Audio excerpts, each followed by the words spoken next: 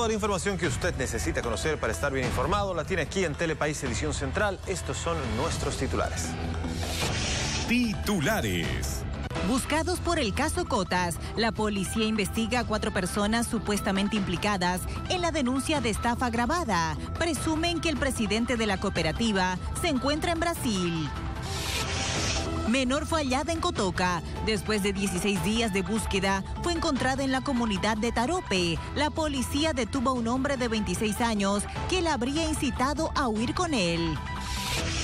Campaña de limpieza en el cordón ecológico. Se va a desarrollar durante toda la jornada de este jueves. Participan funcionarios municipales, vecinos y estudiantes. Tercer día de paro en el Hospital de Niños. Trabajadores de este nosocomio y autoridades de la gobernación se reunirán con el Ministerio de Trabajo. Piden el cambio de su gerente por incumplimiento de funciones.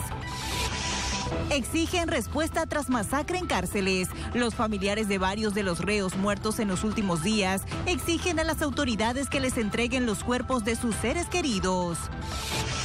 El capitán de la selección nacional anunció su retiro del fútbol profesional boliviano. Ronald Raldez, a sus 38 años y tras más de 22 años de carrera, se aleja de las canchas.